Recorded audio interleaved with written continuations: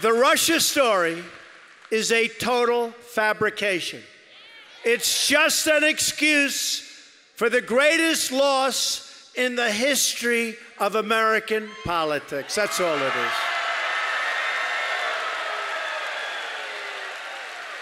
It just makes them feel better when they have nothing else to talk about. What the prosecutors should be looking at are Hillary Clinton's 33,000 deleted emails. And they should be looking at the paid Russian speeches and the owned Russian companies. Or let them look at the uranium she sold that is now in the hands of very angry Russians. Most people know there were no Russians in our campaign.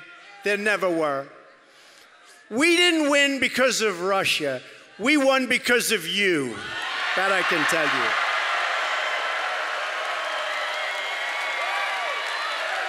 They're trying to cheat you out of the leadership you want with a fake story that is demeaning to all of us, and most importantly, demeaning to our country and demeaning to our Constitution.